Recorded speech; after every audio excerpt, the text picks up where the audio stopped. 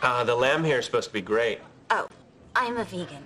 I wish I could tune out that moral voice inside me that says eating animals is murder. But I guess I'm just not as strong as you are.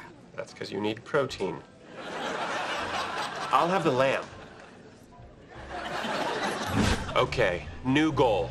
I want our wedding to kick her wedding's ass. I want our wedding to take her wedding's head and shove it in the toilet and flush it like 20 times. Ted, in high school, you were her wedding, weren't you?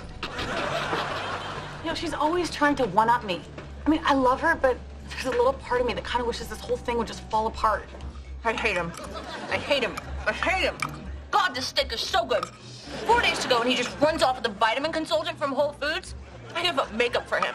I give up showering for him. I give up shaving my armpits for him. Hard to imagine where it all went wrong. And now it's so close to the wedding, just like bacon.